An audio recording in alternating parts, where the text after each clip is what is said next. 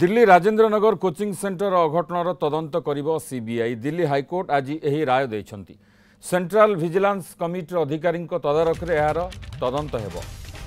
তদন্ত প্রক্রিয়া উপরে যেপরি লোকঙ্কর কৌশি সন্দেহ ন রহব সেপা এভাবে নিষ্পতি নিয়া কোর্ট কিন্তু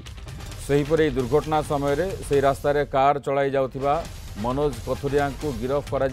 কোর্ট দিল্লি পুলিশকে ভর্সনা করেছেন ଭାଗ୍ୟ ଭଲ ଆପଣ ପାଣିର ଚାଲାଣ କାଟିନାହାନ୍ତି ବୋଲି କହି ପରିହାସ କରିଛନ୍ତି ସତେଇଶ ଜୁଲାଇରେ ଏ ଅଘଟଣ ଘଟିଥିଲା ରାଜେନ୍ଦ୍ରନଗର ରାଉସ ଆଇଏଏସ୍ କୋଚିଂ ସେଣ୍ଟରର ବେସମେଣ୍ଟରେ ପାଣି ପଶିଯିବାରୁ ତିନି ଜଣ ଛାତ୍ରଙ୍କର ମୃତ୍ୟୁ ହୋଇଥିଲା ରାସ୍ତାରେ ଆଣ୍ଠୁଏ ଉଚ୍ଚ ପାଣି ଜମିଥିବା ବେଳେ ଏସ୍ୟୁଭି ଚଳାଇ ଯାଉଥିଲେ ମନୋଜ କଥୁରିଆ ଗାଡ଼ିର ପାଣି ମାଡ଼ରେ କୋଚିଂ ସେଣ୍ଟରର ଗେଟ୍ ଭାଙ୍ଗି ଯାଇଥିଲା ଏବଂ ପାଣି ବେସମେଣ୍ଟରେ ପ୍ରବେଶ କରିଥିଲା ଯେଉଁଥିପାଇଁ ପୋଲିସ ମନୋଜଙ୍କୁ ଗିରଫ କରିଥିଲା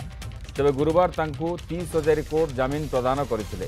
কোচিং সেন্টর অঘটণর সিবিআই তদন্ত দাবি করে মৃতকঙ্ পরিবার আজ দিল্লি হাইকোর্টে এর শুনানি হওয়া বেড়ে পুলিশকে কড়া সমালোচনা করে কোর্ট তেবে দিল্লির ভিত্তিভূমি যোগ এভাবে অঘটন ঘটুছি যা উপরে দৃষ্টি দিয়া উচিত বলে আজ দিল্লি হাইকোর্ট কিন্তু